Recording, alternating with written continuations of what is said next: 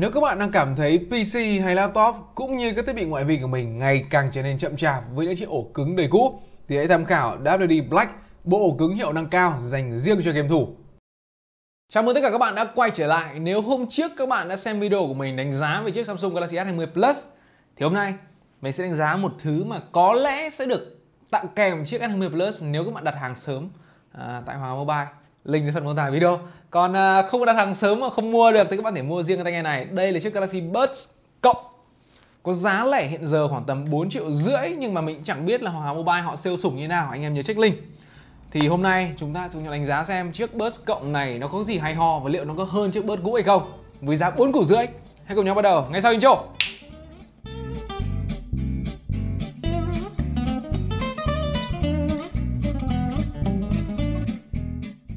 Cái chiếc Galaxy Buds cộng này thì có cái hộp nó làm à, nó nhà nhỉ? Nó gọn gàng hơn nó tinh tế hơn một chút. Và cái lớp vỏ nhựa thì à, là nhựa bóng. Cái à, màu trắng của mình ở đây. Mình thì mình chưa được cầm các màu khác. Còn màu trắng này thì cũng khá là bám mùi vân tay. Và những cái sợi lông sợi tóc sẽ dính vào đây. Ví dụ để túi quần chẳng hạn vải của nó dính vào nhìn khá là rõ. Được cái là nó giấu vân tay thôi còn màu đen thì thôi. Chấm hết. Phần nắp có logo Samsung và dòng chữ Sound by AKG tức là âm thanh được, gọi là, design, được tinh chỉnh bởi AKG thì đại khái là cho chúng ta thêm cái độ tin cậy về cái chất âm. Còn cụ thể như thế nào thì mình sẽ giới thiệu cho các bạn ở phía sau. Vì chúng ta còn phải lướt qua thiết kế nữa. Các bạn sẽ thấy cổng sạc USB Type-C ở phía sau và đèn tín hiệu ở phía trước. Nắp mở làm rất tốt, chắc chắn, mượt mà, mở lên rất dễ dàng, đóng lại có nam châm hút pọc. Đó, rất ok.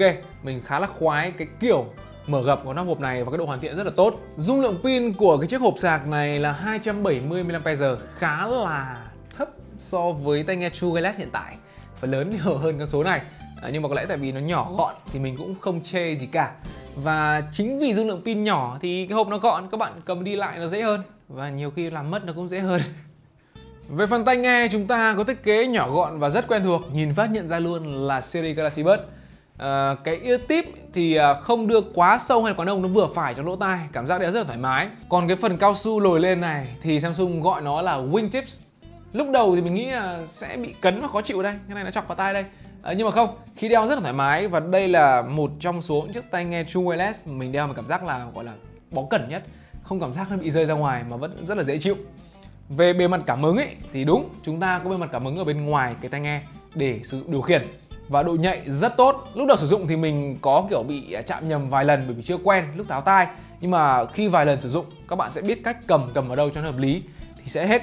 Và cái cách điều khiển rất là ok. Các bạn thể bấm một lần để play pause, bấm hai lần để tua bài tiếp theo, ba lần để quay lại và gõ ở bên cạnh tay phải để tăng âm lượng và tay trái để giảm âm lượng. Cái cách điều khiển thấy rất là thông minh và họ làm cái khả năng cảm ứng của nó rất là mượt, rất là chuẩn. Mình cực kỳ thích cái cách điều khiển của Galaxy Buds cộng.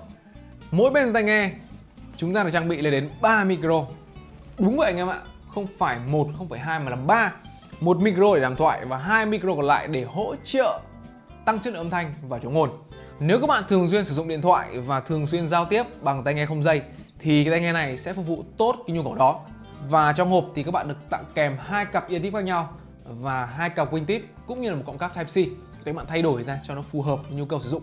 Nhưng mà một điều đáng tiếc là với mức giá 4 triệu rưỡi mà Samsung không hề trang bị cho chiếc Buds cộng này khả năng kháng nước. Thế nên anh em đừng hy vọng là chiếc tai nghe này sẽ sống sót nếu bạn là người ra nhiều mồ hôi cũng như là bạn chạy bộ trong mưa để tỏ tình. Thì đó, không hề chống nước anh em nhớ nhé. Tiếp theo là về à, tính năng. Các bạn chỉ cần mở nắp hộp ra là Bluetooth sẽ được kích hoạt và có thể kết nối. Trong khi phát nhạc hoặc trong cuộc gọi thì vẫn có thể nghe thấy những âm thanh bên ngoài. Đó là các bạn thể tùy chỉnh thì các bạn sẽ có âm thanh thu lại mic và phát lại vào tay các bạn thì các bạn có thể thấy an toàn hơn khi tập thể dục thể thao hoặc đi chạy bộ ngoài đường, vẫn nghe tiếng xung quanh, rất là ổn nếu các bạn muốn có thêm cái khả năng, gọi là, tùy chỉnh các cái EQ khác nhau thì hãy cài thêm ứng dụng Galaxy Wearable vào để tùy chỉnh 6 kiểu EQ khác nhau để nghe cho nó vừa với lỗ tai từng người. Và bây giờ là phần quan trọng nhất, đó là chất lượng âm thanh. Đầu tiên nói về khả năng chống ồn thì chiếc tai nghe này làm rất tốt. Rất ít âm thanh từ bên ngoài có thể lọt vào, ngay cả khi các bạn đang nghe với âm lượng nhỏ.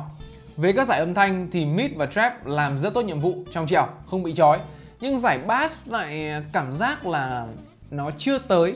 Nhưng đối với những người hay nghe nhạc nhẹ, nhạc jazz hay gọi là nhạc acoustic thì không vấn đề gì cả. Có anh em nào thích quẩy EDM thì sẽ thấy cảm giác bass nó chưa đủ để làm các bạn hài lòng. Chiếc tai nghe này nó cũng mang lại không gian âm thanh rất là tốt, nó có chiều sâu và có độ vang, vị trí âm thanh cũng thể hiện rất là ok, rõ ràng và không hề bị sai lệch về tần số. Thì à, túm cái váy lại, các bạn có gì khi các bạn sử dụng chiếc tai nghe Galaxy Buds này? À, cái hộp này nhỏ gọn tinh tế. Và theo như công bố của Samsung thì các bạn có thể nghe khoảng tầm 11 12 tiếng mới hết pin. Và cái hộp này có thể cho các bạn khoảng tầm 12 tiếng nữa. Thì tức là ưu điểm của nó là thời lượng pin của tai nghe nghe được lâu nhưng mà hộp sạc này chỉ sạc được khoảng tầm hơn lần thôi. Chất lượng âm thanh khá tốt, không phải nói là xuất sắc được bởi vì vẫn còn cảm giác là bass nó chưa tới nhưng mà nó trong trẻo và âm lượng rất là lớn, khả năng chống ồn tốt, đàm thoại rất tốt. À, hộp thiết kế cứng cáp, sang chảnh, tai nghe đeo thoải mái, nhiều cấu tích khác nhau, USB Type-C. Thì đâu có gì nhiều để mà chê ngoại trừ hai thứ.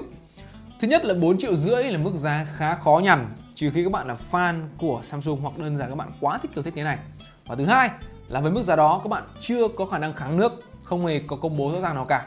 Thế nên hãy cẩn trọng khi sử dụng chiếc ờ, tai nghe này ở môi trường ẩm ướt. Thì đó là chiếc Galaxy Buds cộng. Anh em thấy sao?